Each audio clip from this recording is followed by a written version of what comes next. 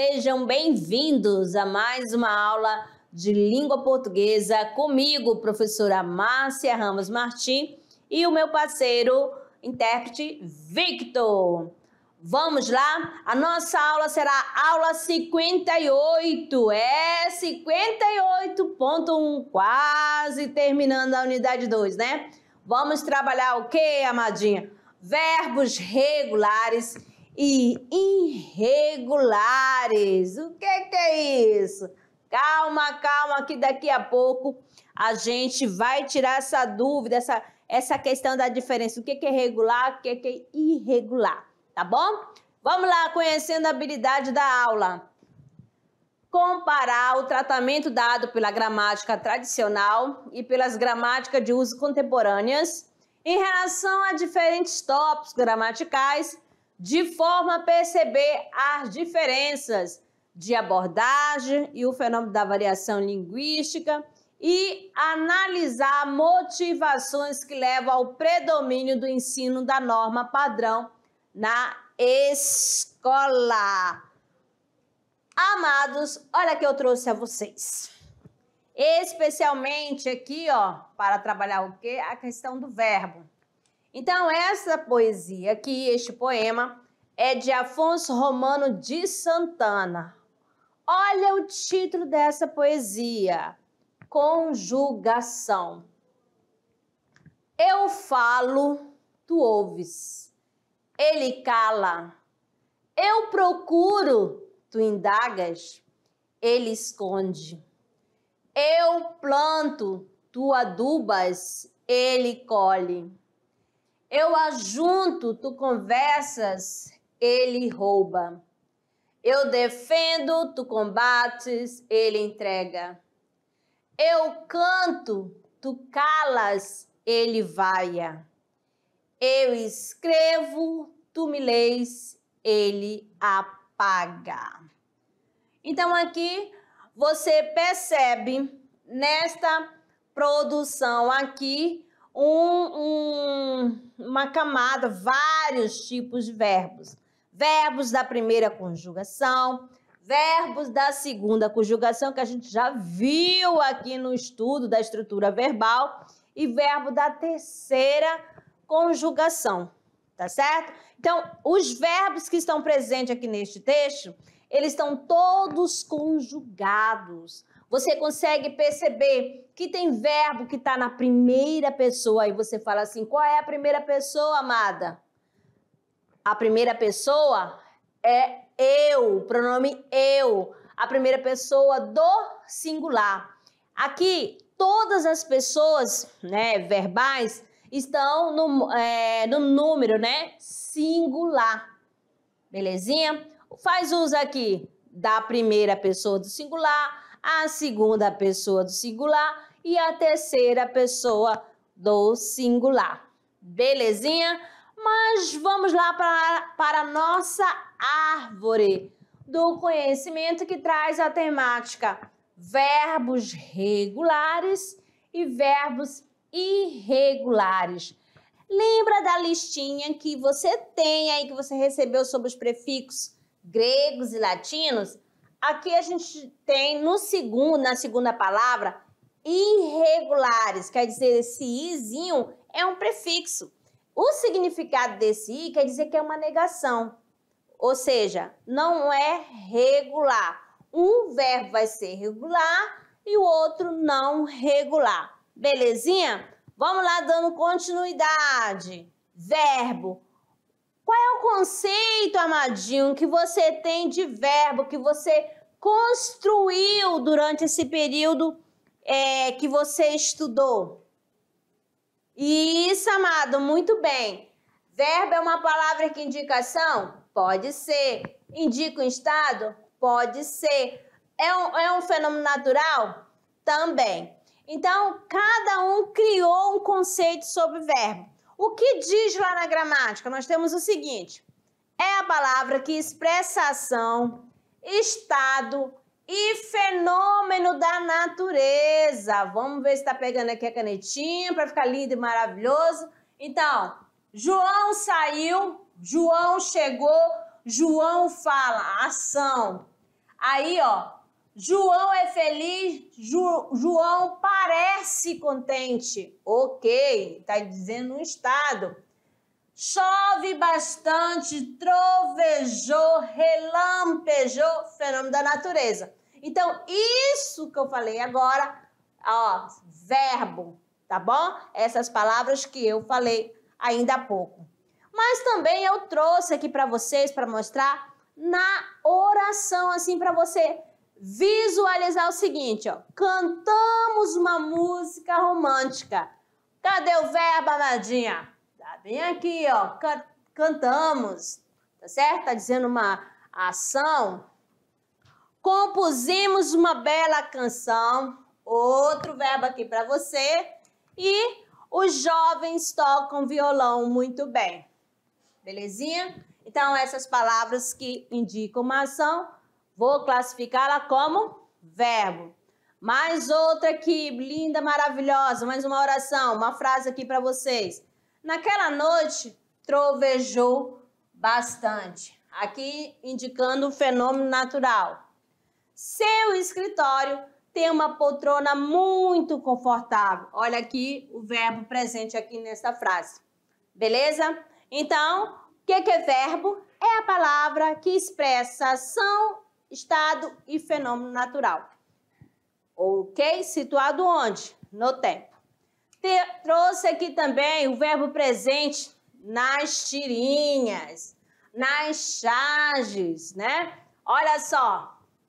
Olha essa primeira charge aqui, ou melhor, tira esse primeiro texto. Temos o seguinte: use, compre, beba, coma, prove. Ei, o que eles pensam que nós somos? Então, ó, tá em destaque aqui, ó. Vários verbos, tá certo? E no segundo, e que nós somos? Os malditos sabem que nós ainda não sabemos. Então, amadinho, perceba que a presença do verbo é constante na nossa vida, no nosso dia a dia. Na, no próximo texto, temos o seguinte, ó. Esse textinho aqui, ó. Escreva na lousa a palavra ética. Aí o amadinho, roubar o giz, professora. Vamos focar aqui essa questão da, do verbo, tá, amado? Então, quando ele fala, a professora diz escreva, pronto, ela está fazendo uso do verbo, tá? Aí o amado responde quando fala roubaram. Olha só, é outro verbo que ele utiliza também na frase. Beleza? Então, continuando, que são verbos regulares. Ah, verbos regulares, olha só, bem fácil para você. Os radicais e as desinências verbais não apresentam, preste atenção, alterações seguindo o modelo de é, conjugação regular. Tome nota, não vai sofrer alteração. Como assim, amadinha? Vamos olhar aqui, amado. Lembrando essa questão aqui para vocês, quando a gente estudou lá na estrutura dos verbais, a gente viu o que? Verbo da primeira conjugação quando que é da primeira conjugação? Quando a terminação é em ar. Tá certo? Temos também verbo da terceira conjugação, quando termina em quê? Ir. E verbo da segunda conjugação, quando a terminação é em er. Beleza?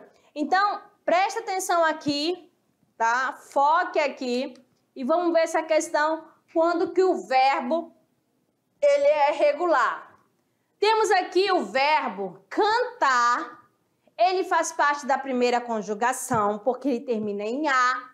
E ó, observe aqui, nós temos radical e terminação, que é a desinência.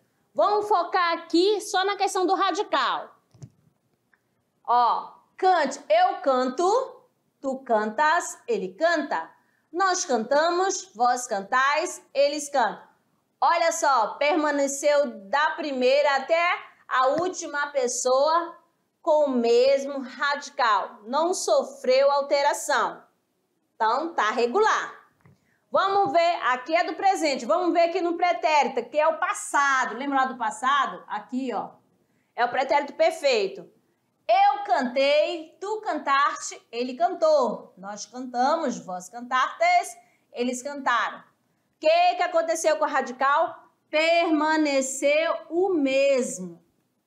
Vai, eu quero pegar um outro verbo da primeira conjugação, tá? E vou conjugar aqui para vocês. No caso, falar. Ó, eu falo, tu falas, ele fala. Nós falamos, vós falais, eles falam. Viu só? A termina terminação é a mesma também. Vamos pegar um outro aqui. O mesmo verbo, mas sendo no passado. Eu falei, tu falaste, ele falou. Nós falamos, vós falastes, eles falaram. Viu só, Amadinho? Pegando qualquer verbo regular da primeira conjugação, terá a mesma terminação, tá bom? Vamos lá, dando sequência aqui. Agora, amado, o verbo da segunda conjugação, o verbo regular. Eu tenho, eu bato, tu bates, ele bate, ele ba ou melhor, ele bateu, não, ele bate, tá, amado? Desculpa aqui. E nós batemos, vós bateis, eles batem. Agora, no passado, eu bati, tu bateste, ele bateu. Nós batemos, vós batestes, eles bateram. Viu só? O que, que aconteceu aqui? Permaneceu o mesmo radical. Assim, e, e, e se você trocar por outro verbo da segunda conjugação sendo regular, no caso, vender, eu vendo, tu vendes, ele vende. Nós vendemos, vós vendeis, eles vendem. Eu vendi, tu vendeste, ele vendeu. Nós vendemos, nós vendeste, eles venderam. Viu só? Permaneceu a mesma. Beleza? Então é um verbo regular. Agora, aqui nós temos da, da terceira conjugação, o verbo partir. Ó. Eu parto, tu partes, ele parte, nós partimos, vós partis, eles partem. Presente. No pretérito, eu parti, tu partiste, ele partiu. Nós partimos, vós partistes e eles partiram. Tá certo? Viu só? quanto que é o verbo regular, não sofre alteração. Aqui continua, né, o verbo, né, no presente e no que? No pretérito perfeito. E vão tomando nota, mesmo verbo. Agora, os verbos regulares seguem o mesmo modelo comum da conjugação, mantendo o radical invariável, que isso quer dizer não, não mudar, não sofre alteração, tá bom? E tome nota. Agora, o irregular, os verbos irregulares, o que, que vai acontecer? São aqueles que sofrem alterações no radical, a base, ou nas terminações. Não segue, não segue o modelo de conjugação tá certo? Vai sofrer essa alteração, vai mudar ou no radical ou na terminação, tá bom? Que são Vamos ver aqui, ó. Aqui nós temos verbos irregulares. O verbo dar, o verbo trazer, o verbo dizer, o verbo ir, o verbo medir. Vou mostrar para vocês uma cartela, tá certo? Uma tabelinha aqui e você vai observar. Quando sofrer alteração, ó, quer dizer irregular. Sofreu alteração no radical é irregular. Vamos lá, visualizando aqui, ó, para vocês o seguinte, vão tomando nota. Eu tenho aqui o verbo medir. De cara, o que que você vê, amado? O que que você está enxergando aqui? Ó, aqui no radical. Ó, na primeira pessoa, eu meço. Na segunda, ele, é, tu medes. Na terceira, ele mede. Nós medimos, vós medis, eles medem. Então, o que, que aconteceu aqui? Não houve uma alteração na primeira? Então, pronto, já não está mais regular. Então, aqui é irregular. Vamos ver aqui na, a, no pretérito perfeito. Eu medi, tu mediste, ele mediu. Nós medimos, vós medistes, eles mediram. Mas só como é o verbo medir já sofreu aqui no presente, ele continua sendo irregular. Tá certo? Vamos lá para mais uma aqui para vocês. Ó, agora o verbo dar, amado. A única coisa que não vai mudar é o de, ó. Ó, eu dou, tu dás, ele dá. Nós damos, vós dás, ele dão. Ó, no passado, eu dei, tu deste, ele deu. Nós demos, vós deste, eles deram. Belezinha? Vamos lá, amado. Mais um pouquinho aqui, mostrando para você aqui essa questão da de verbo irregular. Aqui nós temos o verbo ir. Eu vou, presente, eu vou, tu vais, ele vai. Nós vamos, vós ides, é, é, eles vão, vós vides. O que, que é isso, Márcia? Então, você vai perceber aqui, ó, o mesmo verbo ir, mas agora, amadinho, o que, que nós temos aqui, ó? Ó, ele conjugado no passado, no pretérito, ó. O verbo ir, ó. Aqui, ó, é o ver, eu vou. Aí no passado, eu fui, tu foste, ele foi. Ó, vós o quê? Ou nós fomos, vós fostes, ele foram. Viu só que sofreu alteração?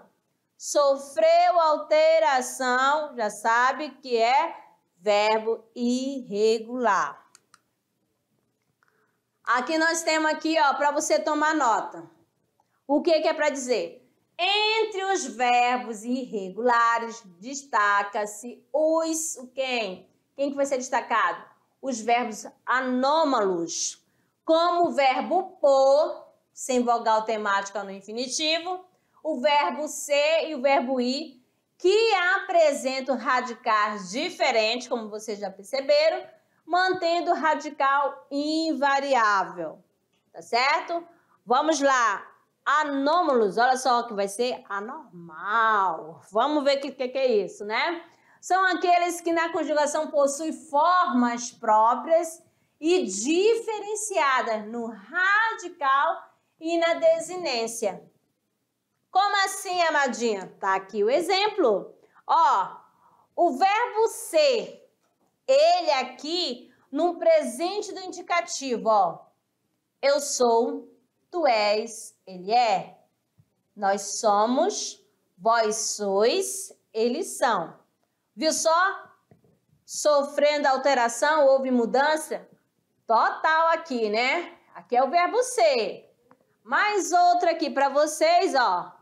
Agora o verbo ser, lá no pretérito do indicativo, né? O pretérito perfeito. Eu fui, tu foste, ele foi. Nós fomos, vós fostes, eles foram. Se você perceber, esse mesmo aqui é a mesma a conjugação do verbo ir. Tá bom? Tem a mesma conjugação, o verbo ser e o verbo ir. Tá? Então, vamos agora conhecer, amadinho, aqui com calma, tá? Tá, tá sendo rápido? Vou com mais calma aqui para vocês, ó. Aqui os verbos defectivos, né? Defectivo, aqueles que vão apresentar defeitos, né? Olha só, são aqueles que não possuem a conjugação completa. Olha só qual é o defeito. Não sendo usado em certos modos, tempos ou pessoas. Tá certo? Olha só, trouxe aqui para vocês, tomar nota. Relaxar um pouquinho, ó, eu tenho o verbo abolir reaver e precaver. Mostrando aqui, tá? O que está dizendo aí? Que os verbos defectivos não possuem a conjugação completa. Vai apresentar falhas, né? No caso, não fica esquisito até se você for falar. Alguns verbos não vão ter a primeira pessoa, não vai ter a segunda, não vai ter a terceira. Ou só vai ter a primeira do, do, do plural e a primeira do, do a, a primeira do plural e a segunda do plural. Então, falhas, defeitos, defectivos, tá certo? Então vamos lá aqui pelo exemplo. Muito importante aqui, eu tenho o seguinte, o verbo abolir. Ele no presente do indicativo, o que que aconteceu? Não tem a primeira pessoa, tá? Ele começa a partir da segunda pessoa. Ó, o primeiro não tem. A segunda, tu aboles, ele abole. Nós abolimos, vós abolis, eles abolem. Aí se eu falar assim, eu abolo, fica esquisito, eu abolo, né?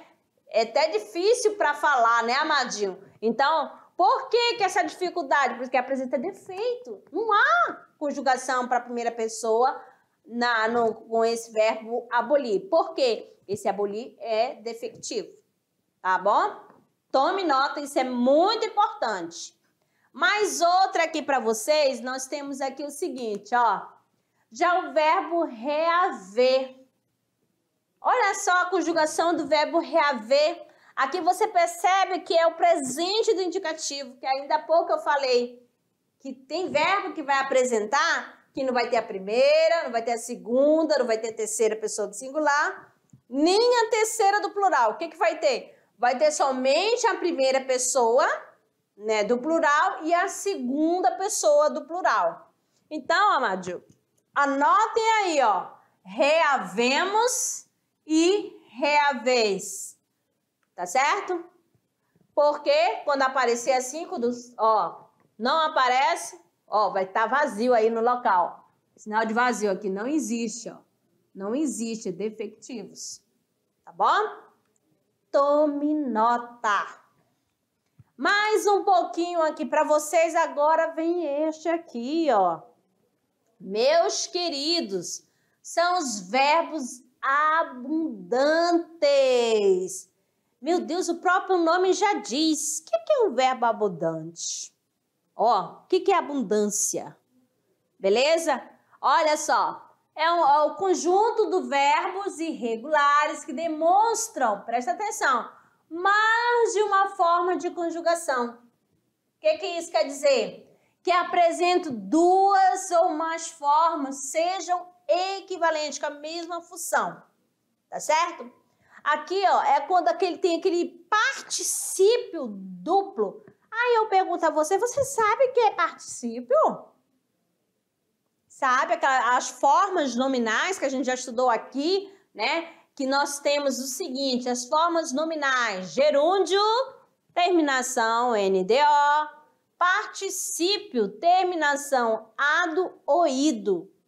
E a forma infinitiva, aquela que tem a terminação é, em R. No caso aí, ó, tem o matar, extinguir, fixar, cantar, falar. E se eu fosse colocar aqui o matar no gerúndio? Matando, tá bom? Fixando.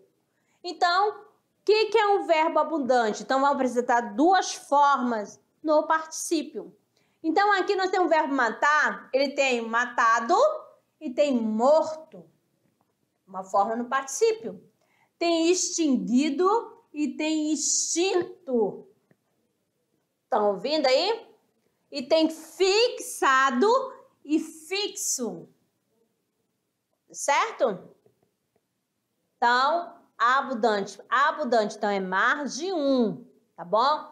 Duas formas. Ou às vezes aparece até três. Belezinha? Ou na conjugação, ou na, na parte aqui do particípio, beleza? Aqui, amado, olha só, para vocês aqui também, para você olhar, porque nas músicas, nas poesias, estão presentes, né? É o verbo. Verbo está presente na poesia, porque você sabe que para formar uma frase, às vezes não precisa de verbo, Mas, às vezes, uma frase para ter sentido completo para mostrar uma ação, aí precisa o quê? O verbo estar presente. Porque já forma o quê? Uma oração. Tá certo? Vamos lá. Aqui presente expressa um fato atual, exprimindo o quê? Possibilidade. Como assim essa possibilidade? Que pode acontecer ou não. Tá bom? Lembra da possibilidade? É quando eu uso o verbo no modo que subjuntivo, amadinho. Lembra que o indicativo indica certeza, de fato. O, in, o, in, o subjuntivo, a incerteza, que é a possibilidade de, de acontecer ou não. E o imperativo, lembrando aqui para vocês, aquele que vai dar o quê? Uma ordem. Tá certo? Então vamos ler aqui. Eu, eu poderia cantar, mas não estou preparada para isso. Vai se alguém gosta da minha voz me contrate, né, Madinho? Eu sou melhor aqui na aula mesmo. então vamos lá. Espero que o tempo passe. Espero que a semana acabe. Olha só. Para que eu possa te ver. Ó. Espero que o tempo voe.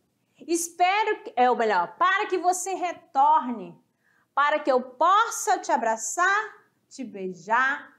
Então, ó, aqui eu vou marcar para vocês. Aqui eu, quando eu, eu, espero, indicativo, mas quando eu falo tempo passe, tá dando a certeza que esse tempo vai passar?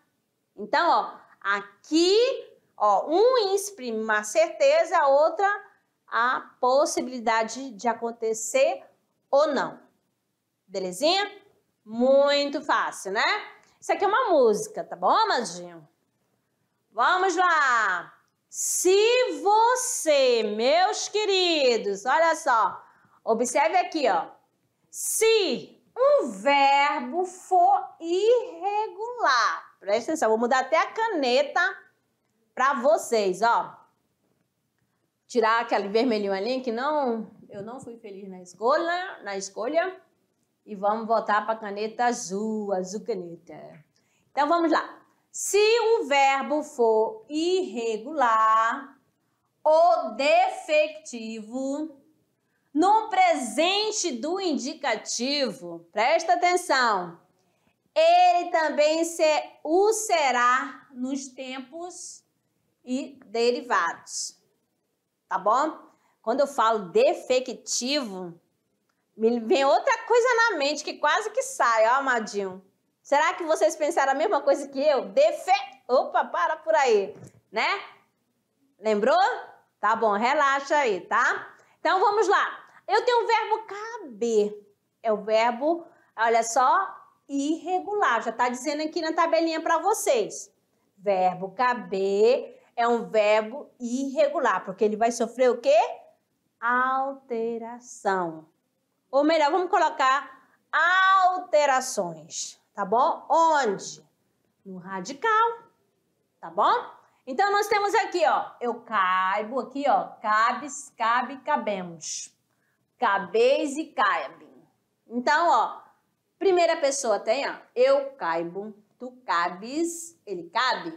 Nós cabemos, vós cabeis, eles cabem. Ok? Agora, vamos ver o mesmo verbo caber no presente do subjuntivo. O que que acontece?